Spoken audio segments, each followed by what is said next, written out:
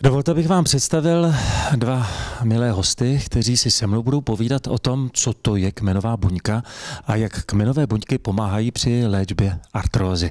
Eh, vedle mne sedí paní doktorka Martina Čapková. Hezky dobrý den. Dobrý den. A pozvání přijal i pan profesor doktor Jaroslav Michálek. Vítejte. Dobrý den. Takže, paní doktorko, asi první otázka na vás. Co to vůbec kmenová buňka je? Kmenová buňka je buňka, která má schopnost se obnovit a uh, dělit se a produkovat, um, v podstatě se diferencovat v buňku, která je potřebná v určitém místě, kde je nějaké poškození.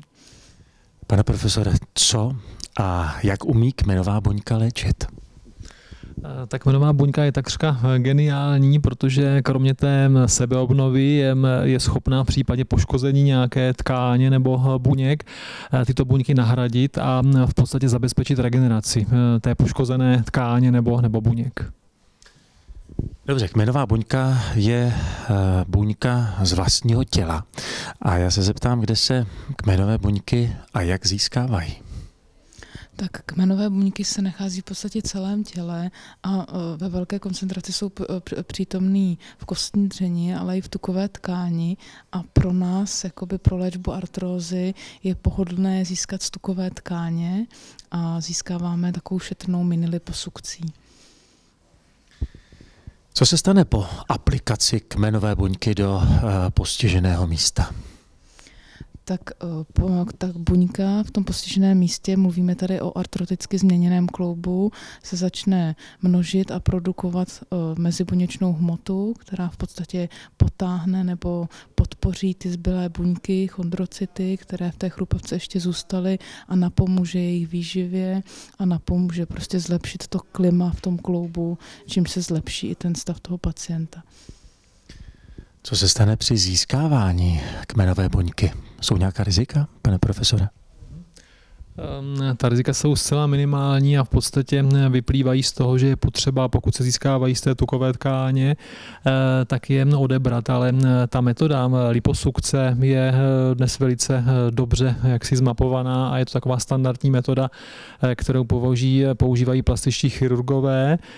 V našem případě tu odebranou tukovou tkáň využijeme právě k získání těch kmenových buněk a v tom je to, v tom je to vlastně velice šetrné, že eh, ty buňky eh, umíme z té tukové tkáně izolovat a potom je léčebně použít. Paní doktorko, jako ortoped, mohla byste srovnat řešení artrózy endoprotézou a nebo léčbou kmenovými buňkami? Pro jakou variantu byste se vy rozhodla? Tak ehm, já bych se rozhodla určitě pro léčbu kmenovou buňkou a to hlavně z toho důvodu, že eh, v případě léčby kmenovou buňkou v podstatě nám stačí ambulantní zákrok, nemusela bych absolvovat eh, těžký, eh, těžký zákrok operační s vysokým rizikem komplikací, mohla bych přijít jenom prostě ambulantně, kde bych, kde bych jsem se položila na zákrokový sále, kde v místním umrtvení by mi odebrali lékaři část tukové tkáně, to by se mi určitě líbilo, nebo pro pacienta je to velmi jakoby populární a žhavá nabídka, protože většinou máme spíš problémy s nadbytkem té tukové tkáně. No a poté v podstatě eh, bych věděla, že se to zpracuje, ta tuková tkáň, tkáňovým centrem, který prostě je mm, na výborný špičkový celosvětový úrovni a že potom zpátky do toho kloubu už se mi dá z té tukové tkáně opravdu jenom ta získaná kmenová buňka, velké množství teda těch kmenových buněk, a kterými udělají tu dobrou službu. Naproti teda operaci endoprotézou, kde bych věděla, že potom ještě půl roku budu cvičit, rehabilitovat, že mě čeká prostě chůze o francouzských helí, že mě čeká tři měsíce odlehčování té operované končetiny. Určitě bych teda volila kmenovou buňku, kdybych se rozhodovala já. Já vám děkuji za tip, přátelé. Pokud řešíte problém s artrózou, tímto elegantním způsobem ho můžete vyřešit v poliklinice JP Pavlova. Děkuji vám a vám přeji šťastné cesty bez bolestí.